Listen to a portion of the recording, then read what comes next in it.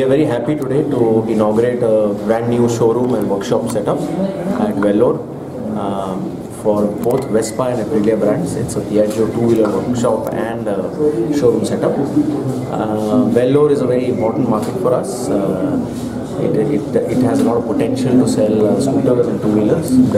Um, today, uh, this setup is state of the art. Service setup and the showroom gives a completely premium feel. So we're very happy and uh, thankful to our uh, partner. Yeah, yeah, okay. So uh, as per the government norms of helmet free, uh, we are obviously giving helmet free on both our brands. Uh, on Vespa, we were always giving it uh, in, in the past as well.